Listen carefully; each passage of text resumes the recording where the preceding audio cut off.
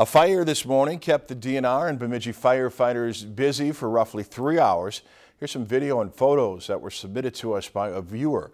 According to Joe Rosinski, who is fire team leader for the Bemidji Area Forestry Office, the fire burned about 10 acres near Parker Lake off Birchmont Beach Road northeast. Rosinski says one DNR engine and one Bemidji Fire Department engine were on the scene, as well as a helicopter fire boss and single engine air tanker. Rosinski says no structures were damaged and that the cause of the fire is unknown at this time and is under investigation.